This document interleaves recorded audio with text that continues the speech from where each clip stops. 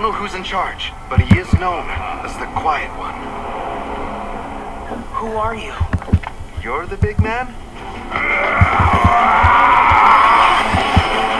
You're supposed to be our friend! Who are you? I had Ninjago's greatest villain as my dad. He wasn't the greatest villain. Oh no? It's the one you never even knew was there in the first place. The one that gets away quiet one.